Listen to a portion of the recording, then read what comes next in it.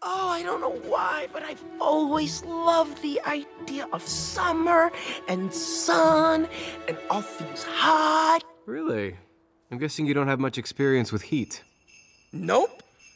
But sometimes I like to close my eyes and imagine what it'd be like when summer does come. Ah. Will buzz, kids will blow dandelion fuzz, and I'll be doing whatever snow does in summer. A drink in my hand, my snow up against the burning sand, probably getting gorgeously tanned in summer.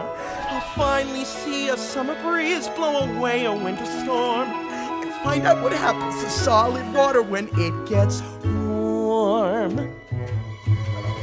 And I can't wait to see what my buddies all think of me. Just imagine how much cooler I'll be in summer. Da da da ba ba ba ba ba. The hot and the cold are both so intense. Put them together, it just makes sense. Ra-ta-ta-ta-ta-da-da-da-da-da-doo. Winter's a good time to stay in and cuddle, but put me in summer and I'll be a happy snowman. When life gets rough, I like to hold on to my dream of relaxing in the summer sun, just letting off steam.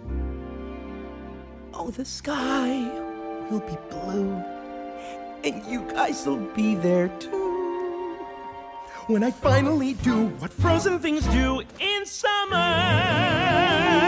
I'm gonna tell him. Don't you dare. In summer.